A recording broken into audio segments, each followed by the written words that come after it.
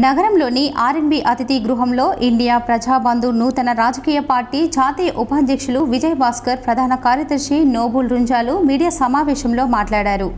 దేశంలో నెలకొని ఉన్న సామాజిక అసమానతలు విద్వేషాలు వైషమ్యాలను నిర్మూలించే ప్రధాన ఉద్దేశంతో ప్రజాబంధు పార్టీ కృషి చేస్తుందని చెప్పారు. కార్యకర్తలకి నాయకులకి భరోసా కల్పించే కార్యక్రమాన్ని ఈ రోజున ప్రజల్లోకి తీసుకెళ్ళడం జరుగుతూ ఉంది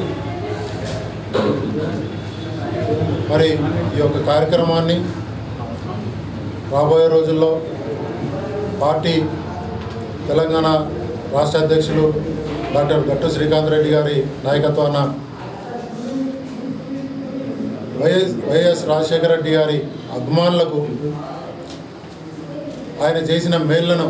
మరొకసారి ప్రజల మధ్యకి తీసుకెళ్ళి రాబోయే ఎన్నికల్లో వైఎస్ఆర్ కాంగ్రెస్ పార్టీ కూడా బలమైన పార్టీగా పోటీ చేయబోతుందనే సందేశాన్ని ప్రజల్లోకి తీసుకెళ్ళే ఉద్దేశంతో జూన్ నెలలో డాక్టర్ గట్టు శ్రీకాంత్ రెడ్డి గారి నాయకత్వాన వైఎస్ఆర్ కాంగ్రెస్ పార్టీ